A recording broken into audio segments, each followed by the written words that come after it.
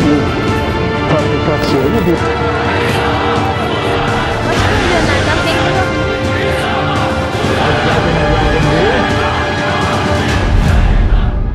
Bundan tam 23 yıl önce bugün tarih 28 Şubat 1997 idi. Günlerden cumaydı. Saat 15.10'da başlayacak ve tam 9 saat sürecek Milli Güvenlik Kurulu toplantısının gündemi bir ay öncesinde yapılan MGK toplantısında belirlenmişti. Gündem irticaydı. Toplantının gergin geçeceği belliydi ki öyle de olacaktı. O toplantıdan çıkacak kararlar gerginliği tırmandıracak, Türkiye'nin muhafazakar kesimi için yasaklar ve mağduriyetlerle dolu bir süreci başlatacaktı. 28 Şubat, Türkiye'nin belleğine postmodern darbe olarak kazanacaktı. Yeniden büyük Türkiye Sayın Erbakan aslında e, bu kadar eleştiriye hatta bu kadar e, şeyi aşan e, bir, bir takım nezaket sınırlarını aşan eleştirilere başbakan olarak tahammül edebilmiştir. Hep olgunluk göstermiştir bana.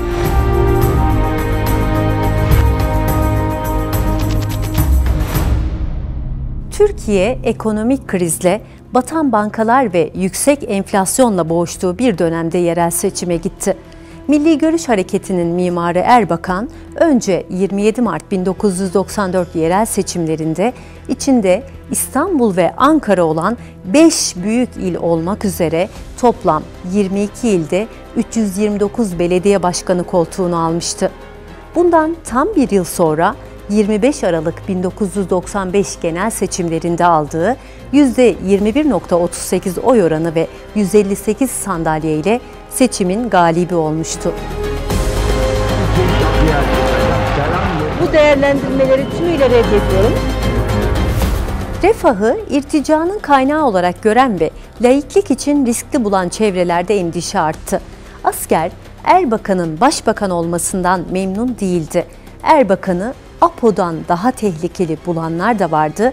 Bu koalisyonun laiklerle dindarları birbirlerine yakınlaştıracağını düşünenlerdi. Doğru Yol Partisi'nin verdiği 15 fireye rağmen Refah Yol hükümeti 13 oy farkla güven oyu almayı başardı. Dengeler değişmiş, daha dindar bir toplum hayali kuran bir parti iktidarda söz sahibi olmuştu.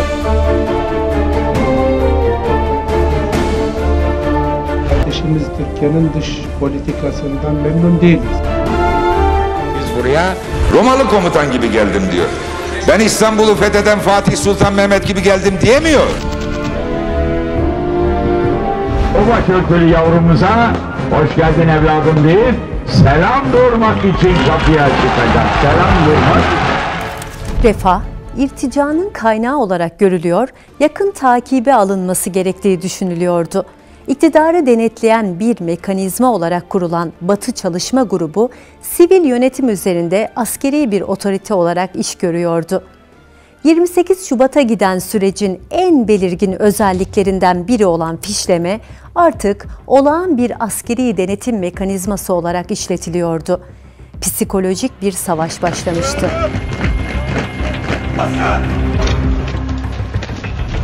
Türk Silahlı Kuvvetleri, çağdaş, layık her türlü bağnazlık ve gericiliğin karşısında bulunan sarsılmaz bir güç. ordumuzu din düşmanlığının aleti yapmak istiyorlar. Hayır. Hiçbir şey başaramadığınız gibi bunu da başaramayacaksınız. Bu oyunlarınızda boşa çıkacaktır.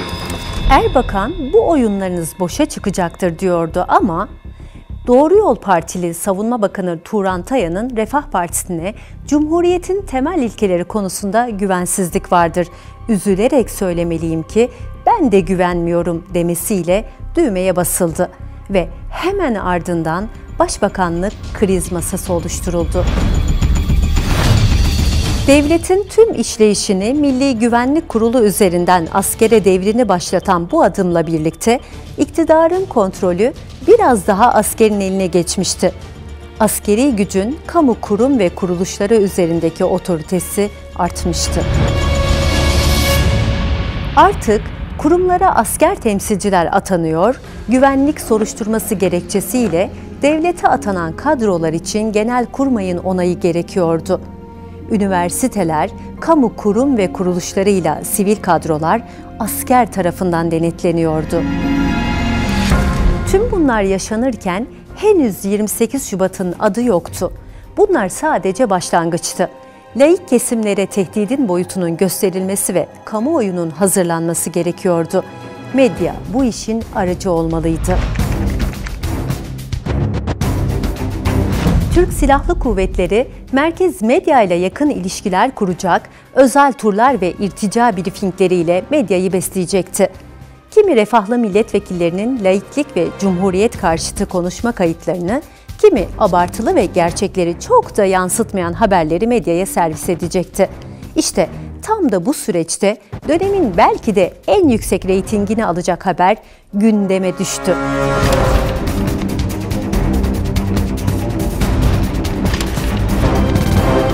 Azimendi lideri Müslüm Gündüz de Fadime Şahin'in basılma anı an ve an ekranlara gelecek.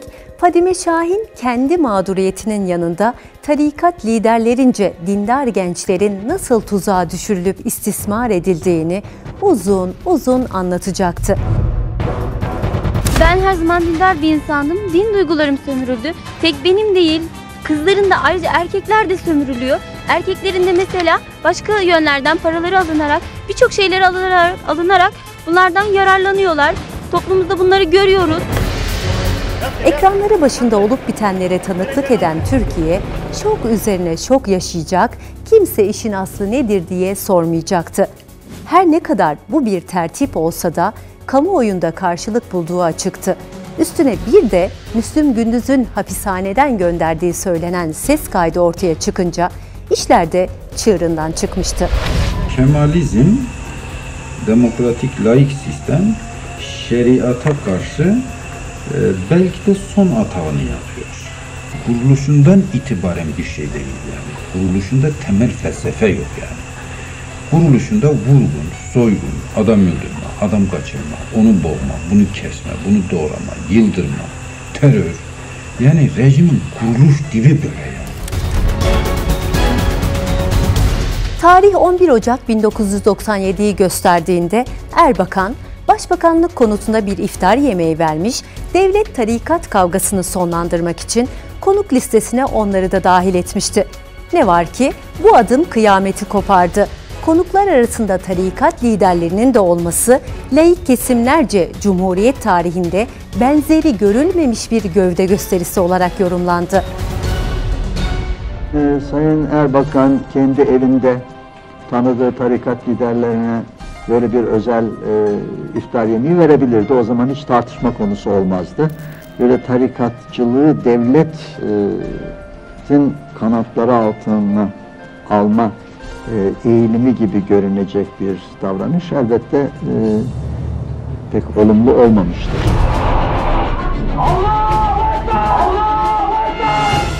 Ama asıl kıyamet bundan tam 20 gün sonra 31 Ocak gecesi Filistin'le dayanışma amacıyla gerçekleştirilen Kudüs gecesi sonrasında yaşandı. Salona asılan Hizbullah ve Hamas liderlerinin posterleri, sergilenen tiyatro oyunundaki söylemler ve geceye davet edilen İran Büyükelçisi'nin konuşması sert tepkilere yol açtı, kışlaları hareketlendirdi.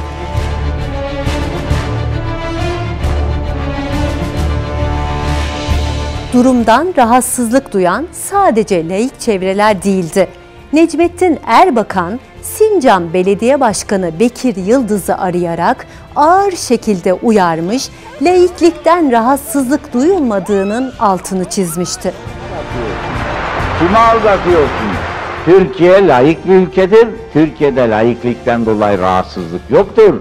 Laikliği din düşmanlığı diye tatbik etmek isteyenlerden dolayı rahatsızlık var.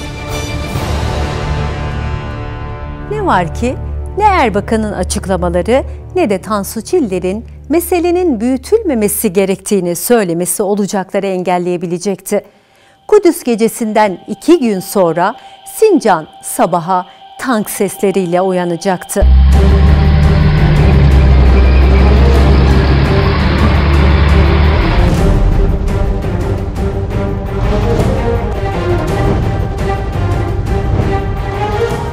Askerin bu ihtarı karşısında iktidar öfkeli, kamuoyu gergindi. Kimse bu girişimin söylendiği gibi bir tatbikat veya birliklerin sevk edilmesinden ibaret olduğuna inanmıyordu. Genelkurmay 2. Başkanı Orgeneral Çevikbir'in Sincan'da demokrasiye balans ayarı yaptık şeklinde yaptığı açıklama konuyu da açıklığa kavuşturmuştu. Asker sivil otoriteyi açıkça tehdit ediyordu. Sincan'daki tankların hafızaya kazıdığı o görüntüler henüz tazeyken 24 Şubat 1997'de Deniz Kuvvetleri Komutanı Oramiral Güven Erkaya'nın yaptığı irtica PKK'dan daha tehlikelidir açıklamasıyla gözler 4 gün sonra 28 Şubat 1997'de gerçekleştirilecek Milli Güvenlik Kurulu toplantısına çevrildi.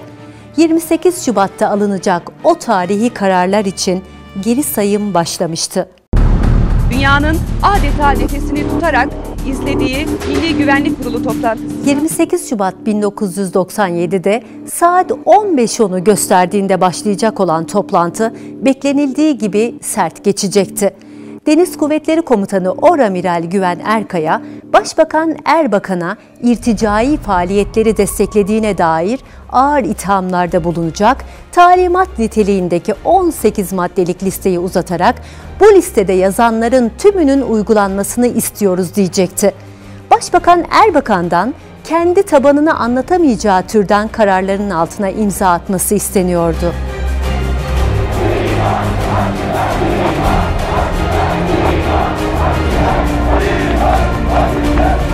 Refah Partisi'nin kadroları ve tabanı gergindi.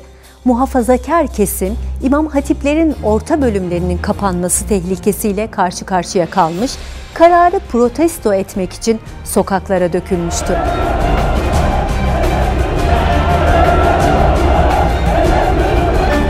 Demokrasimizi kurtarmalıyız. Türkiye Refah Yol adlı bu bitli yorganı artık sırtında taşıyamaz. Bu gerçekle hiç alakası olmayan bir iddianameden ibarettir. Basit bir iddiadır. Çünkü Refah Partimiz laikliğin bekçisidir.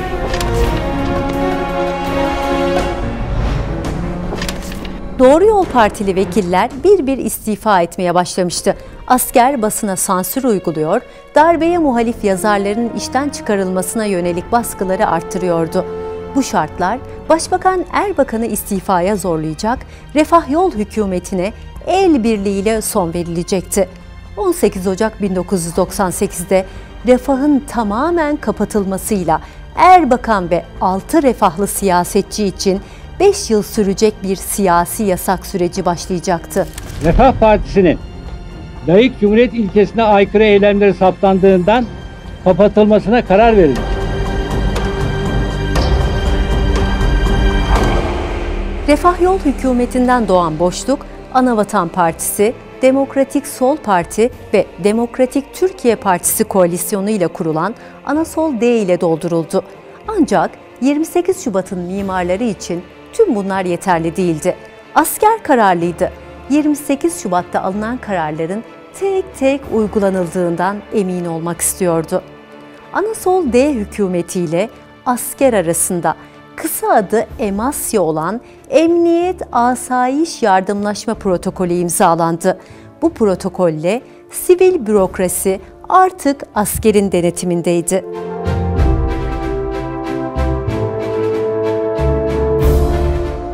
Emasya protokolü ile birlikte irticacı oldukları gerekçesiyle refahlı bürokrasi, akademisyen, üst düzey yönetici ve iş insanlarına yönelik soruşturmaların açıldığı, görevden almaların gerçekleştirildiği bir dönem başladı. Şu anda en son olarak 6 civarında belediye başkanını görevden uzaklaştırdım. Korku ve kaos endüstrisi gibi çalışan 28 Şubat süreci bin yıl sürmese de uzun bir dönem iş başında kaldı.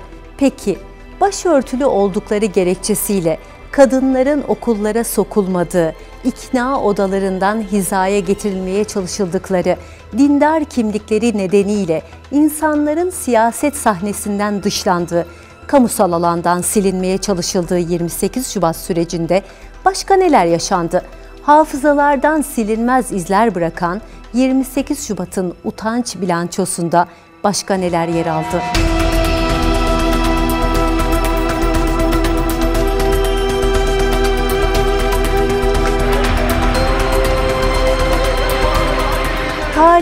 2 Mayıs 1998. Refah Partisi'nin kapatılmasının ardından kurulan Fazilet Partisi'nin milletvekili Merve Kavakçı, meclisteki yemin törenine başörtülü olarak gelince ağır tepkiyle karşılandı. Meclisteki protestolardan en çok akılda kalansa Demokratik Sol Parti Genel Başkanı Bülent Ecevit'in söyledikleri oldu. Hanımların giyim kuşamına, başörtüsüne, özel yaşamlarında hiç kimse karışmıyor. Ancak burası hiç kimsenin özel yaşam mekanı değildir. Burası devletin en yüce kurumudur. Burada görev yapanlar, burada görev yapanlar devletin kurallarına, geleneklerine uymak zorundadırlar. Tarih 1995. Cumhuriyet Üniversitesi'nde 1995 yılında başörtülü olduğu gerekçesiyle diploması verilmeyen ve tartaklanan hemşirelik bölümü öğrencisi Zöhre Uçar düzenlenen mezuniyet törenine alınmadı.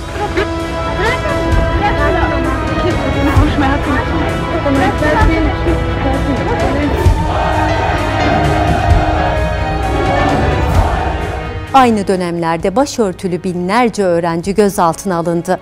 Okul bahçesine dahi sokulmadı. İstanbul Üniversitesi eşine rastlanmayan bir skandala imza attı. Rektör yardımcısı Nur Serter, başörtülü öğrencileri ikna odalarına alarak okula başörtüsüz gireceklerine dair taahhütname imzalattı. Başörtülü bir öğrenciyi bütün öğrencilerin arasında onu rahatsız edecek, rencide edecek biçimde değerlendirsek acaba daha mı iyi olur? Tarih 31 Mart 1997. Yeni Milli Eğitim Bakanı Mehmet Sağlam, 8 yıllık kesintisiz eğitimin başlayacağını, İmam Hatipler dahil bütün ortaokulların kapatılacağını söyledi. Başörtüsü yasağı da eklenince İmam Hatip ve üniversite öğrencilerinin yüzüne okul kapıları birer birer kapandı.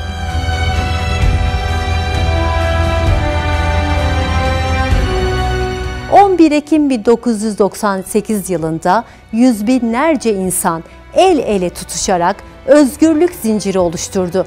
İstanbul merkezli bu eylem bütün Türkiye'ye yayıldı. Eylemlerde gözaltına alınan birçok kişi tutuklandı. Kız öğrenciler giremedikleri üniversitelerin önlerinde aylarca eylem yaptı. Bu mücadeleye polis tazyikli su ve coplarla müdahalede bulundu. 28 Şubat başörtülü kadınların İmam Hatip ve üniversite öğrencileriyle öğretmen, memur, asker eşi hiçbir ayrım gözetmeden kamusal alanda yok edilmeye çalışıldığı bir dönem oldu. Süngü, kubbeler miğfer, camiler kışlamız, müminler asker. Dönemin İstanbul Büyükşehir Belediye Başkanı Recep Tayyip Erdoğan, Siirt'te okuduğu şiir nedeniyle 10 ay hapis cezasına çarptırıldı. Ben bunları hiçbir zaman önemsemiyorum. Benim bu dünyada önemsediğim tek şey vardır. O da milletimin gönlünde yer edebilmektir. Hakkınızı bana helal ediniz.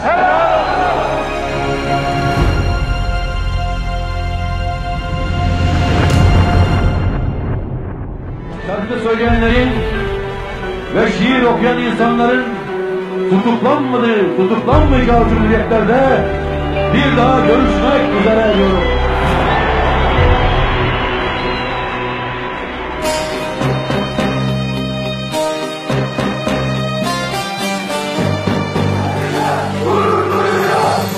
Ben bu millete ve bu vatana aşık olan birisiyim.